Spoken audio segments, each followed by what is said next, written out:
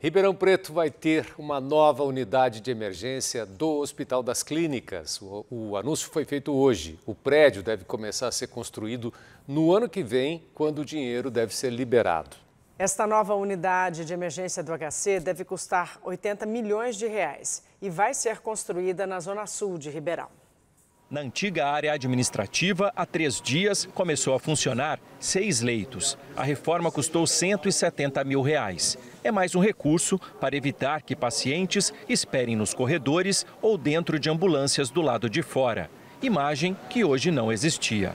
Segundo o coordenador da unidade de emergência do HC, em 10 meses, 36 leitos foram abertos ou reativados. A gente hoje não tem mais pacientes no saguão, não tem mais pacientes em corredores fora de seus leitos. Isso é um trabalho contínuo de fluxos e readequação dos leitos. Com 200 leitos, a unidade de emergência fez mais de meio milhão de procedimentos de janeiro até outubro deste ano. Entre eles, consultas, exames e cirurgias. O hospital é responsável por 80% dos atendimentos de média e alta complexidade da região. Sem espaço para ampliações, em agosto deste ano foi apresentado o projeto do novo prédio da unidade de emergência do Hospital das Clínicas. A promessa agora é que a construção comece no ano que vem.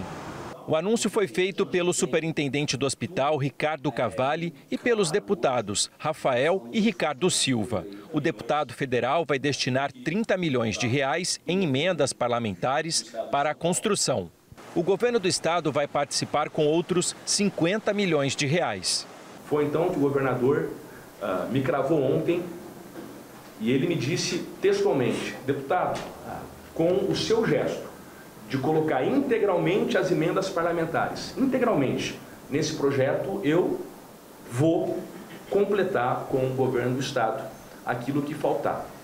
Então, o governo do estado vai investir mais de 50 milhões de reais nesse projeto. O prédio será construído nessa área de 167 mil metros quadrados na Zona Sul, que pertence ao governo do estado. Fica ao lado do Hospital Estadual e do Departamento Regional de Saúde.